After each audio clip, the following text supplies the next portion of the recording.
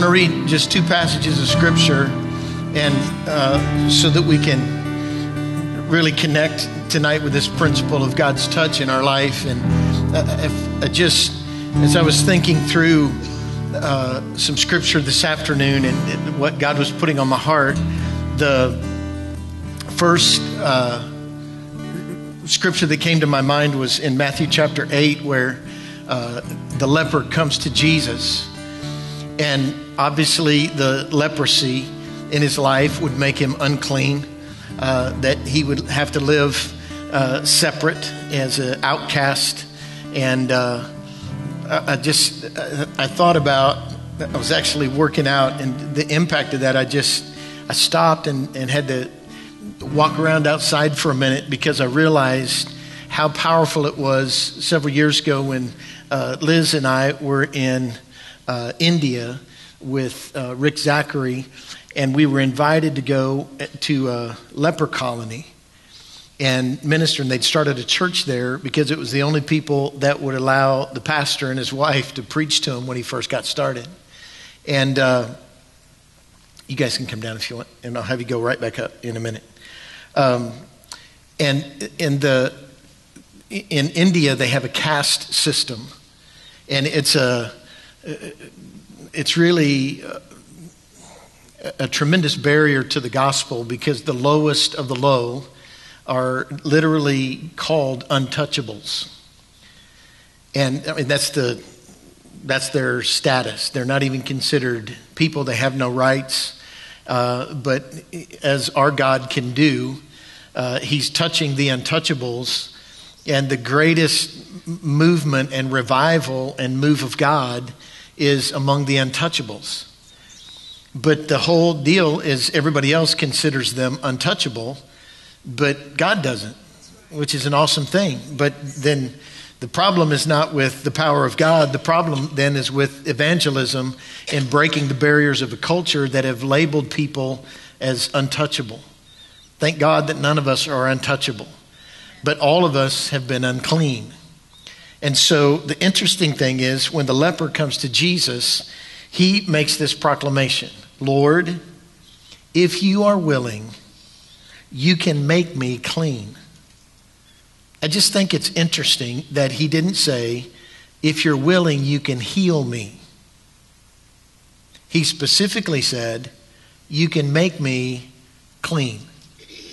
The power of shame in his life, the enemy was using to keep him in a place where if, if he could just reconnect relationally with people, where he expressed being clean rather than being healed. He didn't say, Lord, if you're willing, you can take this leprosy completely away. And God meets us where we are and touches us at the point of our need. And so Jesus didn't debate how he said what he said, he just responded to him. And he's, I felt like that was our, that we put ourselves in that position tonight, and that if we're willing to say, what the leper said Lord, if you're willing, you can make me clean. And the second stage to God healing uh, the depth of our shame is that Jesus stretched out his hand and touched the leper, and then he said, I am willing, be clean. He met him where he was.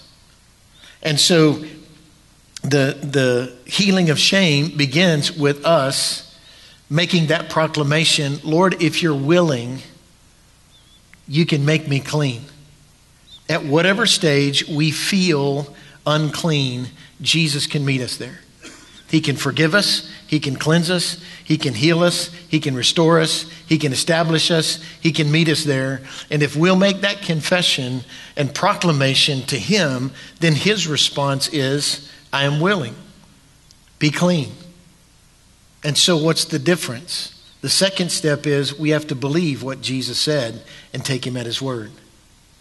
See, we say, Lord, if you're willing, that's our statement of faith. The leper said, Lord, if you're willing. And Jesus said, reached out, touched him first. the connection with him in his uncleanness, which would have made Jesus unclean. And the leper had to proclaim, I'm unclean, I'm unclean, I'm unclean, and continually announce that to people so he wouldn't touch them and, and uh, make them unclean. And Jesus' response was to touch him and then say, I'm willing, be clean. And immediately the leper was healed. Okay? Jesus touches him in that place and ministers to him. And I want us to put ourselves in that position. The other uh, verse of scripture that, or the passage that came, I referenced it earlier, is in Luke chapter 7, and where Jesus is in the home of Simon the Pharisee. And the custom was when you brought somebody into your home that you would at least offer them the a foot washing because of the it was not only refreshing but it was considered hospitality and uh, the Pharisee didn't do that. And another sign of honor and blessing when somebody came into your home was to anoint their head with oil. And he didn't do that. And so he was more trying to connect with Jesus out of curiosity and kind of feel him out. And there was some suspicion and, and some interplay. And so a woman who was not invited to the dinner, but when a rabbi came into someone's home and other people heard about it, they could come not for the meal, but to hear the teaching and to what the rabbi had to say. And they would sit back uh, uh, in a corner or in a uh, obscure place, and they would they could listen in on the conversation. They they weren't an honored guest, but they could be in the home. And so the woman hadn't violated any protocol except for the fact that she had a reputation. And the, the scripture calls her a sinful woman or a disgraceful woman. And she didn't just keep her place, so to speak, she didn't stay on the boundaries that she came up behind Jesus as he was reclining at this table and she began to weep. And she, her tears fell on his feet, and then she bent down and began to wipe them with her hair. And then she took the most priceless thing she had, this bottle of perfume, and broke it and poured it on his feet and continued just to weep and to anoint his feet and, and then bend down and kiss his feet over and over and over again in her weeping. And the Pharisee was in an awkward position, and so he thought to himself if Jesus knew what kind of woman this was, that, that you know, obviously he's not a prophet or he would have known that. But not only was he a prophet, he was a great prophet because he knew what Simon was thinking, even though he didn't say it. And he knew what the woman needed to hear, but would have been very uncomfortable for him to address her directly. So I want you to watch uh, uh, as we read through this passage, just a few verses here. Luke chapter 7, beginning in verse 36, is the account It says, When one of the Pharisees invited Jesus to have dinner with him, he went to the Pharisee's house and reclined at the table. A woman in that town who had lived a sinful life. So it wasn't a mistake, it wasn't an error, it wasn't a bad judgment call, it was a consistent lifestyle of bad behavior. Okay? Getting uh, legitimate needs met through illegitimate means. It was a lifestyle, it was a pattern. A woman who had lived a sinful life learned that Jesus was eating at the Pharisee's house, so she came there with an alabaster jar of perfume. As she stood behind him, weeping at his feet, she began to wet his feet with her tears. Then she wiped them with her hair, kissed them, and poured the perfume on them. When the Pharisee who had invited him saw this, he said to himself, If this man were a prophet, he would know who is touching him and what kind of woman she is. what kind of woman she is. What kind. When we disconnect from genuinely loving people, we begin to label them. What kind of person is this? What kind of friend am I going to let this person be? What kind of neighbor are they? What, what kind of? And it begins to be this distance that we create and the way that we objectify people and label them and put them in categories because it's easier for us to deal with the awkwardness of interchange and relationship. He would have known what kind of woman this is and who is touching him. Jesus answered him, Simon. Notice that Jesus didn't, the, Simon didn't ask Jesus the question, he thought to himself. So, so he didn't ask him anything, but verse 40 says, Jesus answered him. Jesus answered him, Simon, I have something to tell you. Tell me, teacher, he said. Two people owed money to a certain money lender. The one owed him 500 denarii, and the other only owed him 50. Neither of them had the money to pay him back. So he forgave the debts of both. Now, which of them will love him more? Simon replied, I suppose, don't we answer the Lord like that? I suppose the one who had the bigger debt forgiven. You have judged correctly, Jesus said. Watch this. Then he turned toward the woman and said to Simon, He's not talking to the woman, he's still talking to Simon. But now he's repositioned himself and he's making eye contact with this woman who's behind him, weeping and wiping his feet and kissing them and wiping this perfume on them. Powerful position. Do you see this woman? Now he's talking, he's looking at the woman, but he's talking to Simon. Get, get the picture. He's engaging them both, but he's he's t- taken his eye contact away from Simon and putting it on this woman who really doesn't want it. If she did, she would have come in front of him instead of behind him. Okay? She's still risking being exposed, but she's dealing with the shame through worship. A disgraceful, sinful woman who's not yet forgiven, but is willing to take the risk. Do you see this woman? I came into your house. You did not give me any water for my feet, but she wet my feet with her tears and wiped them with her hair. You did not give me a kiss, but this woman has not stopped kissing me my feet from the time I entered. You did not put oil on my head, but she has poured perfume on my feet. Therefore, I tell you, her many sins have been forgiven, as her great love has shown. But whoever has been forgiven little loves little. Now, the point Jesus was making wasn't that the woman got forgiven because she loved.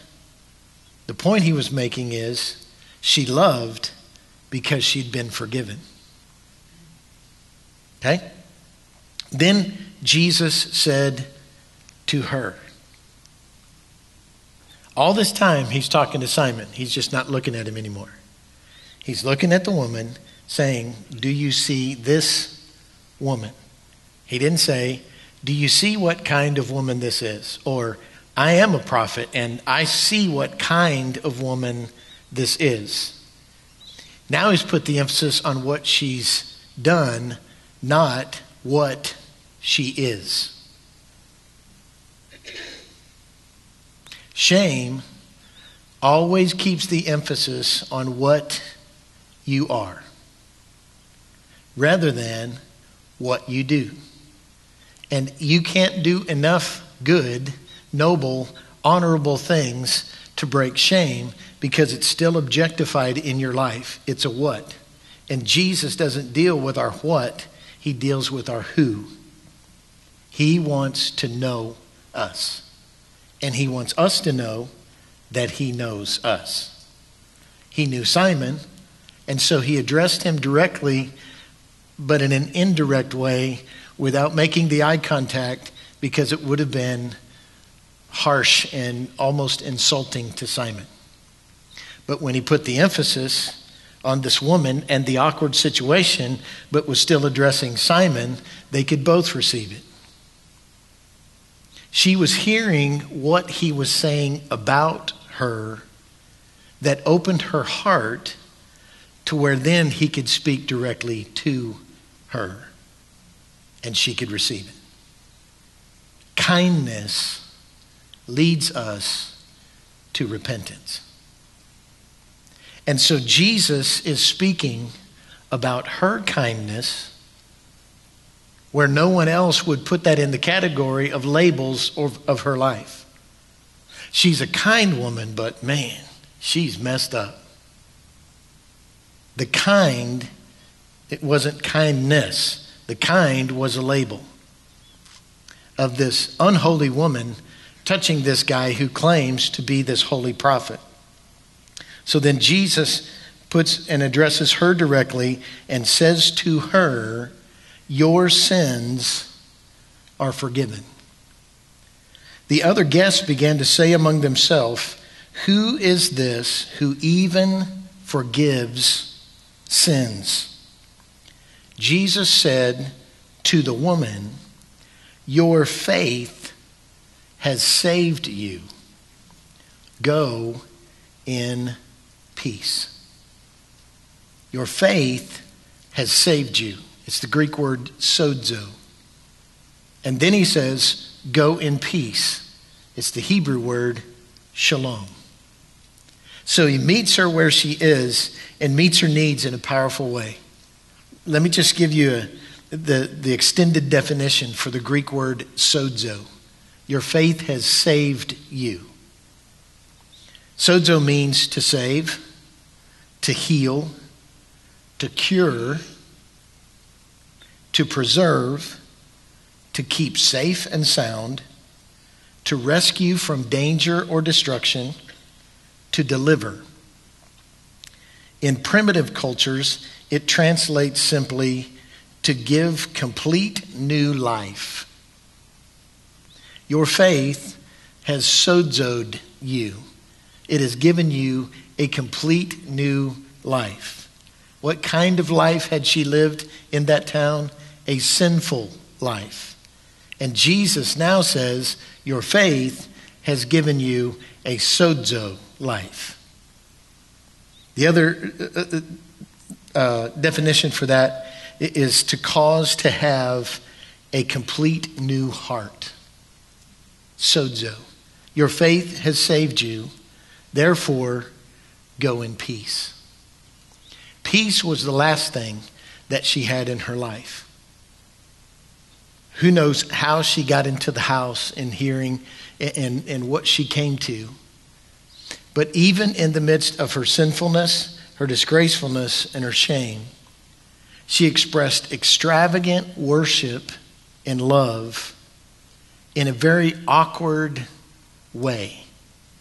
Not so much for her or Jesus, but for everybody else. Her worship is what connected her with the Lord.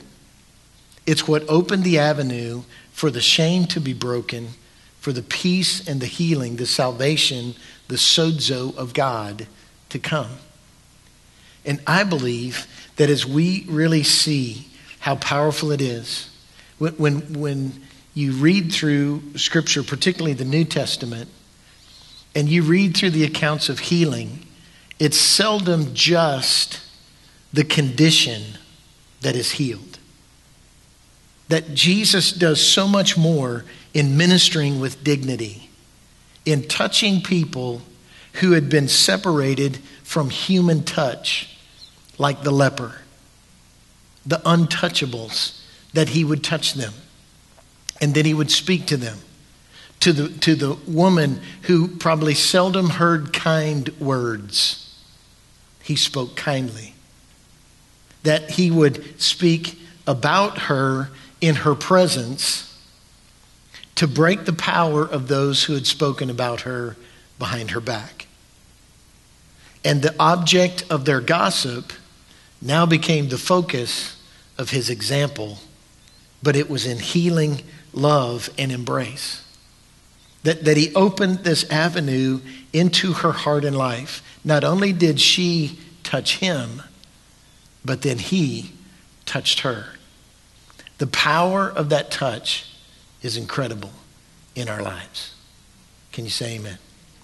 I want you guys, if you would, come back.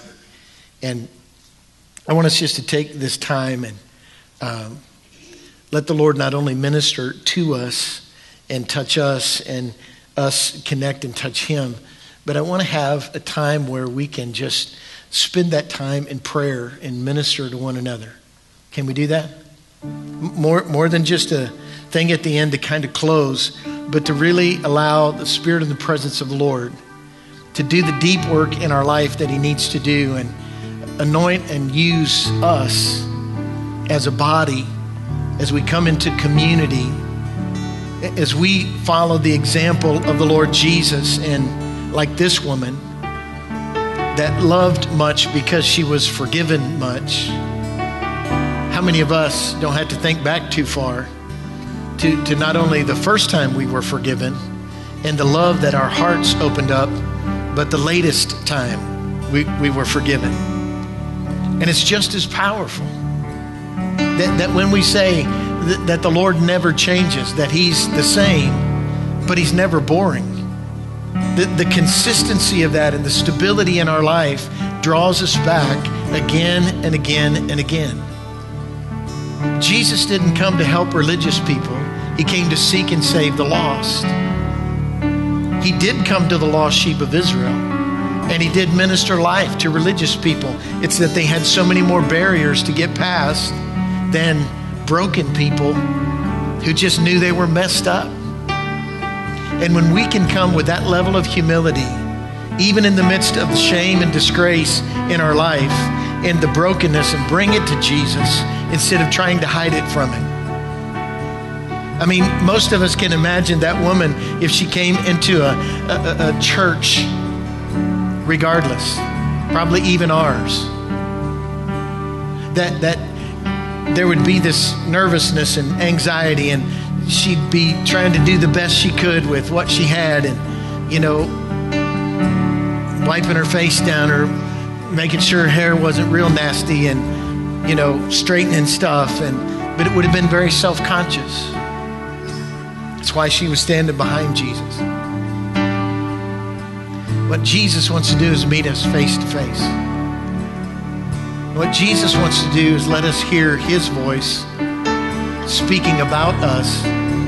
But the more powerful thing is when he speaks to us. When he takes his word and he puts it in our heart and he applies it as a healing balm into places of our heart that are unclean, leprous, diseased, infected, unpresentable. And when we have the courage to do that, and we respond in love, not in self righteousness, but in that sense of approaching Him and, and just being there, sitting at His feet, touching that part of Jesus that their culture would have said was unclean.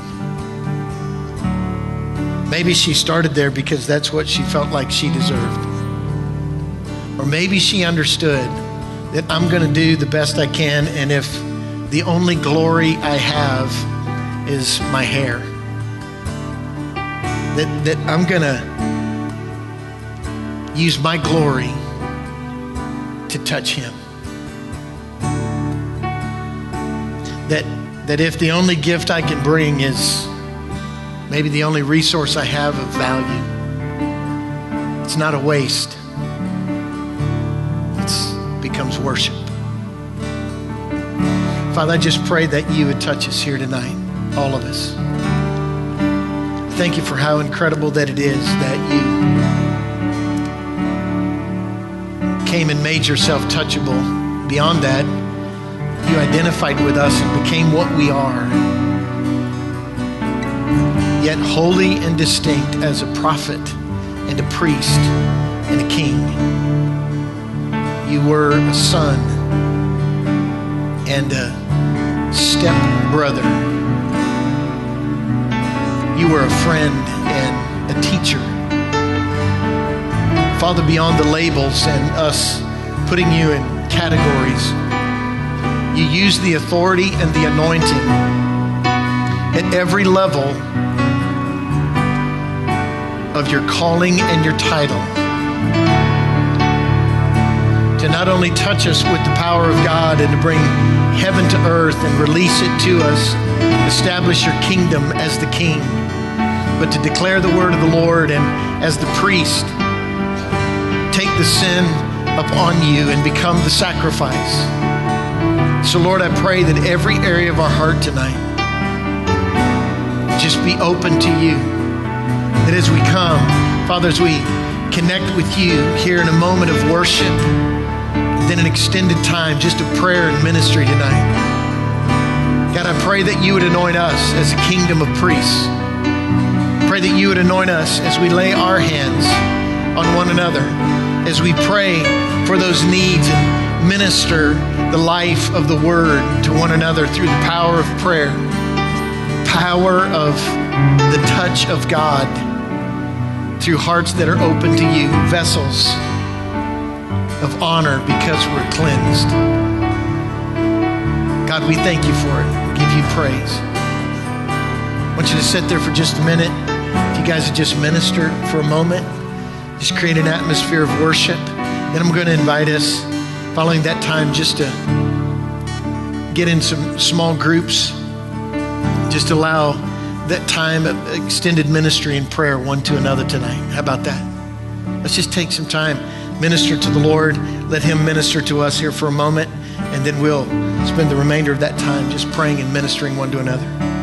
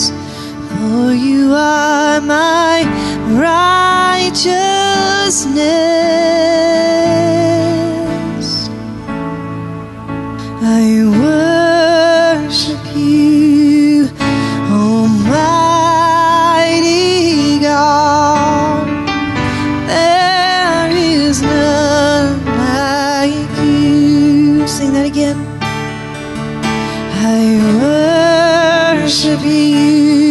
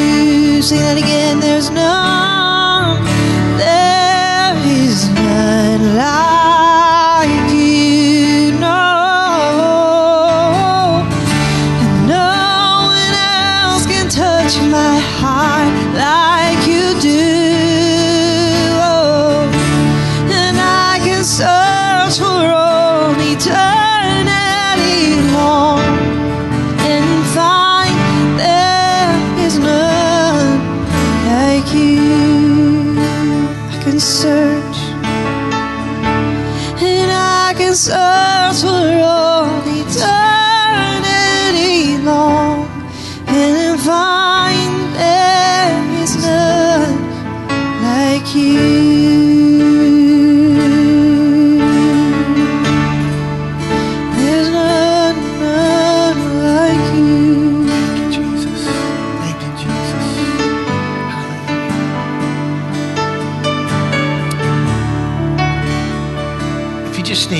ministry tonight, this prayer, you want some folks just to lay hands on you, just minister to you.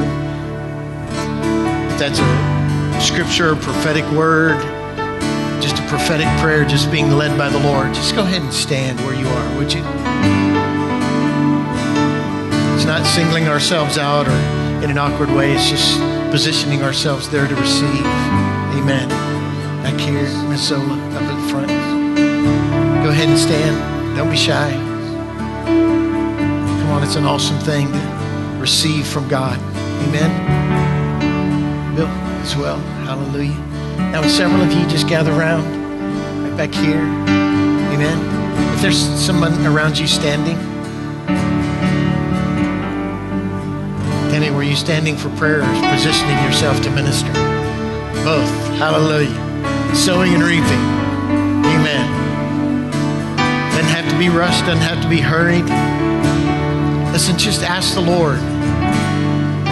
And then just respond and release what God's speaking into your heart. Maybe a word of scripture. It may be a word picture. It may be a specific word of prophecy that you speak over their life. Maybe a word of wisdom, a word of knowledge that God gives you. Let's just take some time right here in the anointing pray and minister to one another.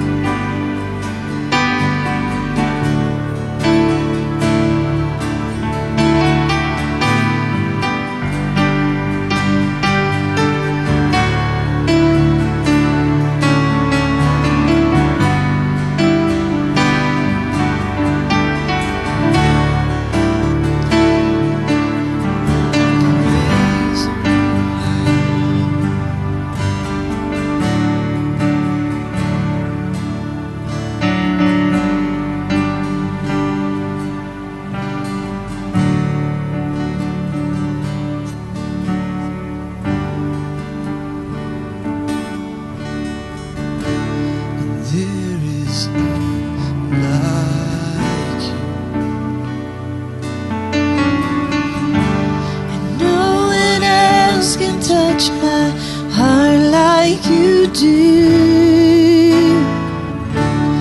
I guess. so.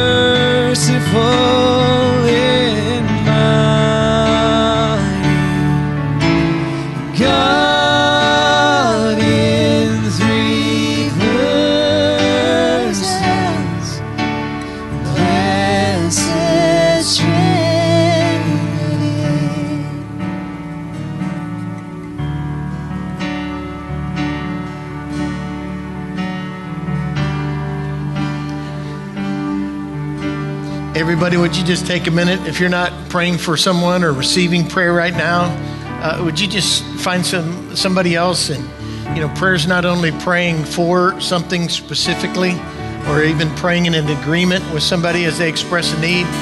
Prayer's just praying a blessing over somebody's life. Amen. So let's bless one another tonight in prayer before we go, praying one for another. If you would just huddle up, form a, a group there. Thank God for what He's done. Pray prayers of blessing over somebody's life. Just encourage them in the Lord. Hallelujah.